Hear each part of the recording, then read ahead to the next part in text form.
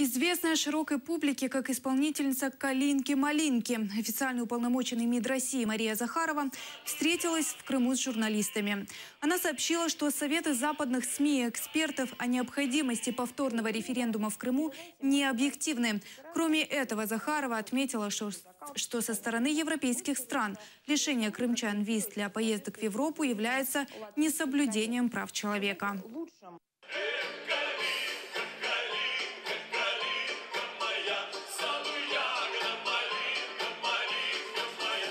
Я думаю, что это дело народа Крыма решать, что им делать и как им жить.